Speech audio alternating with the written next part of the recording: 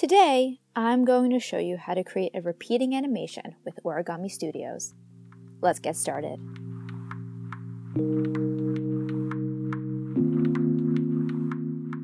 So if you're new to origami and haven't used it much before, I really recommend watching my intro video into origami.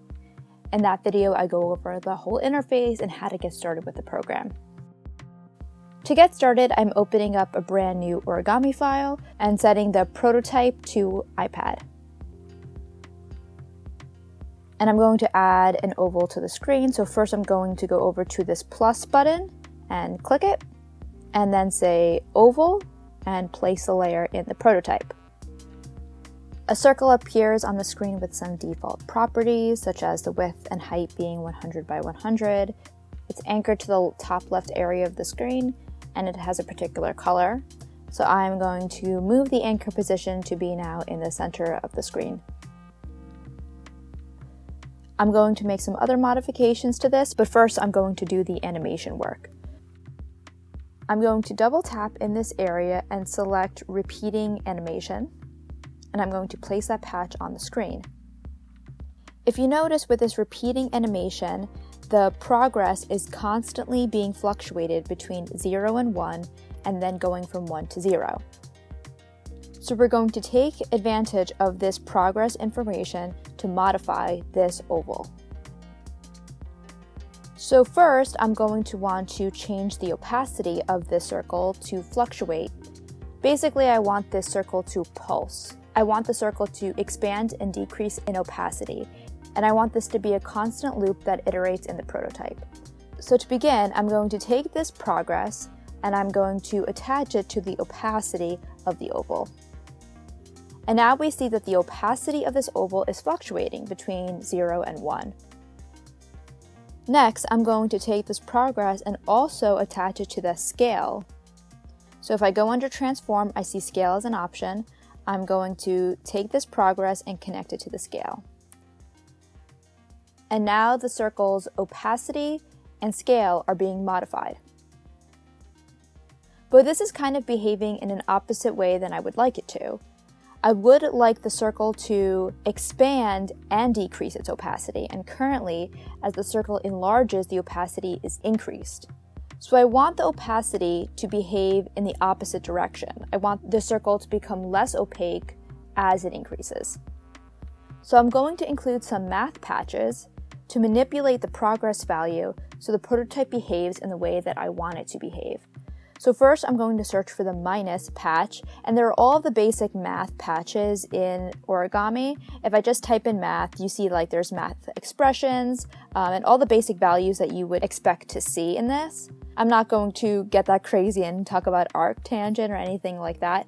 I'm pretty much going to stick to the basic math manipulation for this video. So I'm going to click the subtract patch and place it. Instead of the opacity being exactly mapped to the progress, I want the progress value to be subtracted from the number 1 so that way it behaves inversely to what's occurring right now. So for this first value, I'm going to put 1, and then I'm going to attach the progress to the second value. And then the result of it will now be set to the actual opacity. So now, as you see, as it increases, it decreases in opacity, which is the behavior that I would like it to have. So basically, instead of the progress being 0.9 and the opacity being 0.9, now it will be 0.1 because it is 1 minus 0.9. Now with the transformation scale, this is a little bit small and I know I'm going to want to have a little dot on top of this that indicates the user's position. So I don't want the actual size of this pulsating animation to ever get to zero. So there are multiple ways that you can do this. I can add a plus first. So whatever is the progress plus a certain value will equal the scale of this. So maybe it really does start at one and it's the progress plus 1 would equal the oval scale and you'll see how much this increases. That does seem a little bit big, so I'm actually going to decrease it and maybe make it 0.2. So it never actually gets to zero, but it does increase and decrease in size. I'm also going to want to amplify the effect of the progress. So maybe I'll add a multiplication symbol. And so then whatever this value is times 2, let's say, would increase the scale of the oval. So now we have the addition of a value and then multiplying the effect, and then it's affecting the transformation of that oval. But this is also going from 0 to 1 and then 1 to 0 in a looped fashion, which I don't really want it to do. So right here, I have this modification of it being mirrored, so I'm going to uncheck that option, and now it just radiates outward. I can also change the duration, so it's a little bit slower, and change the type of curve. So right now it's quadratic in out. I could change it to any curve that I want it to be.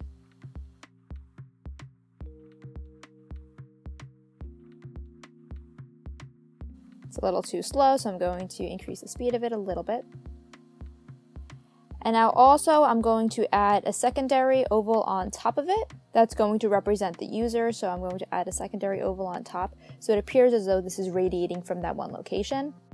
So here I'm going to modify this and maybe make it an orange color, and then I'll also change the color of that larger oval to be the orange as well. So it appears as though it is radiating from that one dot.